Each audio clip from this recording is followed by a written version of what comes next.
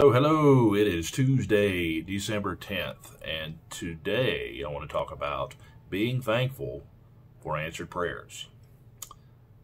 So, here's an example. Uh, Tammy's mom hasn't been feeling well, and we've kind of had some concerns. Went to the doctor today. You know, we've been praying about it and hoping for a good report back. She went to the doctor and good report. Thank you, Lord, for that answered prayer. He hears our prayers, just sometimes He doesn't answer them in the way that we would like Him to answer them. He answers them, He responds according to His will. Um, there, there are times when the answer is no. And ultimately, that's what needs to happen. And, and, I'll give you an example. You know, I, I, I, had a relationship that I was in prior to being married, and um, you know, I thought this is it. That's the one.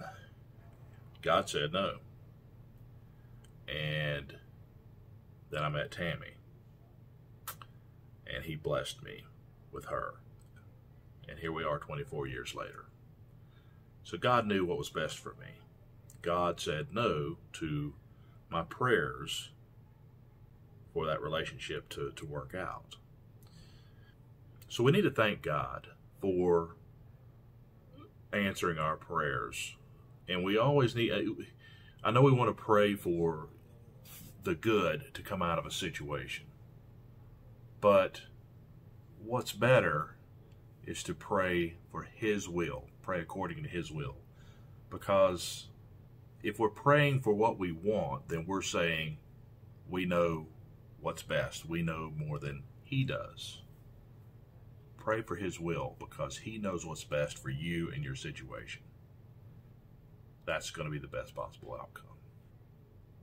He knows the beginning and the end. He sees the much bigger picture than we do. So we have to give it to Him. And sometimes, sometimes it's. Uh, it's difficult. And then sometimes it's great. So, so remember him when he answers your prayers. Remember him when you're praying. Uh, if the answer is yes, hallelujah. Thank you, Lord. If the answer is no, hallelujah. Thank you, Lord. And trust him. Trust in his will and his way. And you can't go wrong. Thank you guys for watching hit that subscribe button right there. Then hit the notification bell to be notified when I upload new content. And hope you have a great night. God bless you. Love you guys.